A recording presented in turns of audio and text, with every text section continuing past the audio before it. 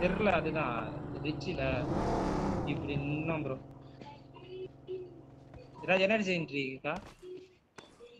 ஏய் எப்படி ப்ரோ என்ன பிடிச்சது